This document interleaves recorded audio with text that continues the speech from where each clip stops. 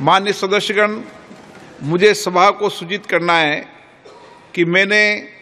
संसद में विपक्ष के नेता, वेतन और भत्ता अधिनियम 1997 की धारा टू के निबंधनों के अनुसार लोकसभा में भारतीय राष्ट्रीय कांग्रेस के नेता श्री राहुल गांधी जी को 9 जून 2024 से